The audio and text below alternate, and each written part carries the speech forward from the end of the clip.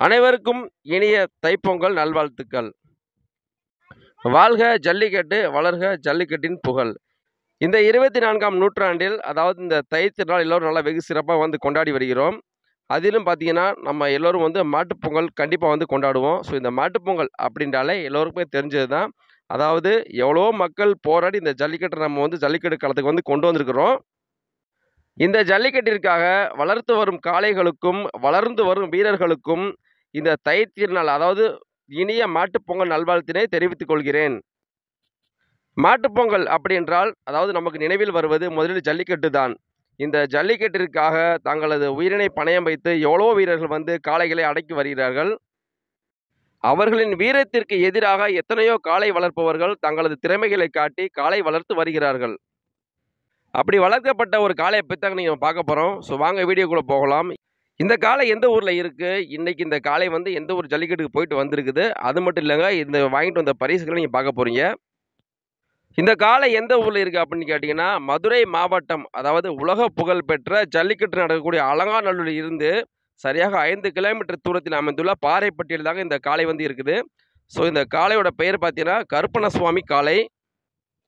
ஒரு அப்பா தங்களது பிள்ளைகளின் திறமைகளை வெளிப்படுத்தும் வகையில் அவர்களது படிக்கும் படிப்பிலோ அல்லது அவர்கள் விளையாடக்கூடிய ஸ்போர்ட்ஸிலோ அவர்களது வாங்கக்கூடிய பரிசிலிருந்து அந்த அப்பாவுடைய திறமை கண்டிப்பாக தெரிய வரும். தங்களது பிள்ளைகளைப் போல தனது திறமைகளை வெளிப்படுத்தி வளர்க்கப்பட்ட காளை தான் இந்த கற்பன சுவாமி காளை.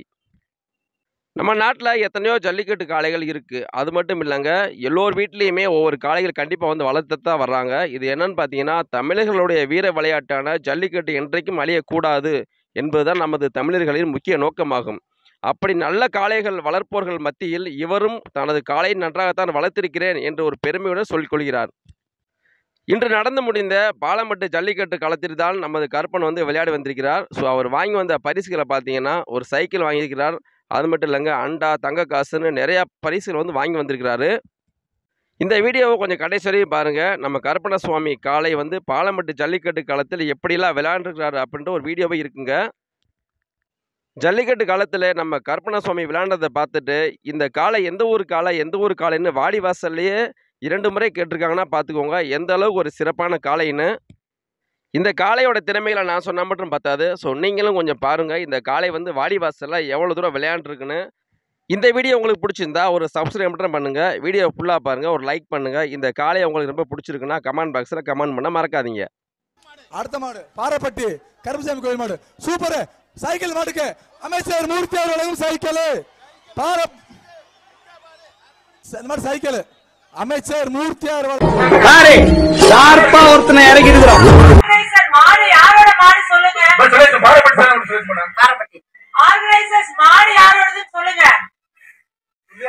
அந்த டோக்கன் இங்க கொடுக்க சொல்லுங்க. பாறைப்பட்டி கருமசாமி கோயில் மாடு. பாறைப்பட்டி கருமசாமி கோயில் மாடு.